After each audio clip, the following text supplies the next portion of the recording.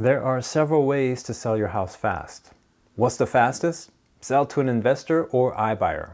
You might already know about investors. Before you even thought about selling, someone's asking to buy your house. Maybe you've been getting a postcard, a letter on yellow legal pad paper, or you've been getting tons of phone calls, all saying the same thing. We will buy your house cash, as is, and close fast. And investors will do just that.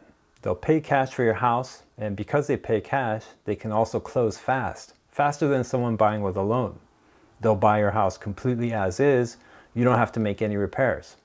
Because you're selling it direct to the buyer, you won't have any realtor costs, and some investors will even pay your closing costs. Selling to an investor should be much faster and simpler than listing it with a realtor and putting your house on the open market. The catch is, most investors are fix and flippers and will not offer you market value, but instead offer you about 70% of after repaired value of your house. After repaired value, or ARV, is an estimate of the market value of your house if it was in top of the line condition. Like all repairs are taken care of, it's updated, and move-in ready. That percentage, 70% in my example, will vary with each investor. Some may go lower and some may go higher. Fix and flip investors need to buy houses cheap enough so they can profit after putting in money to renovate the house, pay all the overhead throughout renovation, and reselling costs, whether it be through their own marketing or hiring a realtor to resell it. Investors will never pay market value. They can't. One other catch has to do with investors buying your house as is and repairs. While fix and flip investors won't ask you to repair anything and will buy your house as is, they will ask for credit for repairs, if repairs are needed.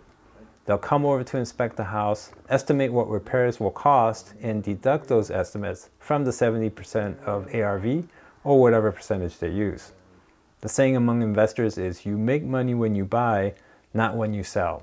Houses have to be bought at a low enough price so they can profit after all the money they will put into it. The cheaper they can buy the house, the more they will profit.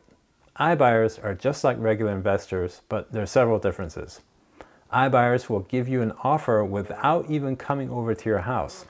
iBuyers will use public data to calculate their offer price and email it to you in a day or so. If you accept their offer, iBuyers will then come over to inspect the house and if repairs are needed, will deduct the cost of those repairs from their initial offer price. Another difference between iBuyers and regular investors is that some iBuyers will pay closer to market value for your house. The majority of iBuyers are fix and flippers, but some buy houses to hold as rentals, so they want houses in good shape or need very little work. If your house is in top of the line condition, this type of iBuyer may be interested in your house. Then there are iBuyers who buy houses as a service to sellers. This type of iBuyer is not an investor, but more of a service provider. Like an investor, they will close quickly and buy your house as is, but instead of paying 70% of ARV minus repairs, they'll pay market value for your house, or so they say. They will then turn around and resell the house for slightly more than what they paid. Their model is not to profit from flipping a house, but from charging the seller a fee for the convenience of a quick market value sale. Some may also rely on appreciation to profit from rising house values. This brings us to the last difference between iBuyers and regular investors iBuyers charge a convenience or a service fee. These fees can be 2.5% or 5% or even more. It could rival realtor fees.